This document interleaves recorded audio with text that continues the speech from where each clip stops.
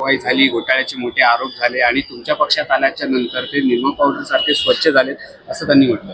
संजय राऊत यांच्यावरती सुद्धा ईडीची कारवाई झालेली आहे. ते तर ते आत होते. मग ज्याच्यावर ईडीची कारवाई असेल किंवा ज्याच्यावर ईडीची नोटीस असेल वायकरांना तर ईडीची नोटीस आली त्याची चौकशी सुरू आहे. आणि जर त्यांना जर दोषी समजत असतील संजय राऊत कालपर्यंत रवींद्र वायकर असं तळहातावरच्या फोडासारखे होते बहुतेक संजय राऊत घाबरलेत. कारण रवींद्र आपल्या रवींद्र वायकरांच्या मुठ्ठीमध्ये खूप काही आहे.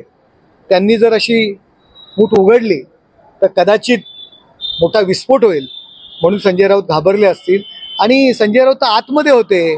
ते जर त्यांना दोषी समजत असतील तर आपण तर महादोषी आहात. आपण पहिला आपला विचार करावा. आणि घाबरणारच. कारण वायकर साहेबांकडे बऱ्याचशा मातोश्री असतील आणि त्याचबरोबर संजय राऊत असतील बऱ्याचशा त्यांचं पोटामध्ये खूप काही दडलेलं आहे. ते घाबरले असतील की कदाचित वायकर साहेब बाहेर काढतील. संजय राऊत साहेब घाबरू नका.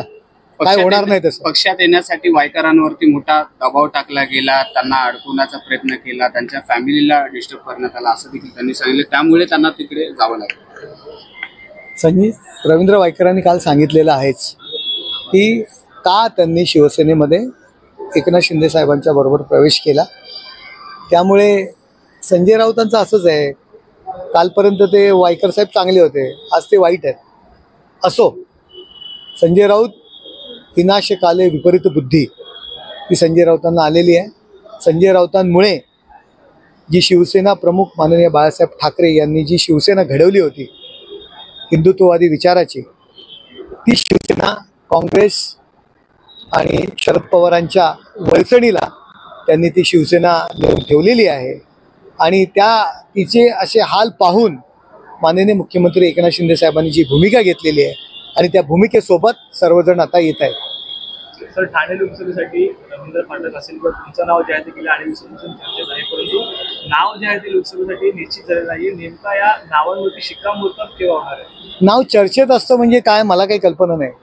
नक्की काय कुठे चर्चा म्हणजे कुठं काही ठिकाण आहे का? या ठिकाणी चर्चा आहे. मी काही चर्चेत नाही आहे.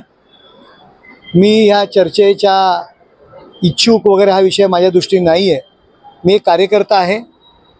गेले दीड ते दोन वर्ष त्याच्या आधीपासून शिवसेनेचा जिल्हाप्रमुख म्हणून काम करतोय. आमचा पक्ष जो काही निर्णय घेईल त्या निर्णयाचं तंतोतंत पालन करणं हे माझं काम समजतो. त्यामुळे चर्चा वगैरे माझ्या दृष्टीने काय नाही आहे. साहेब पाच मिनिटापूर्वी आपण सांगितलं की परिवहन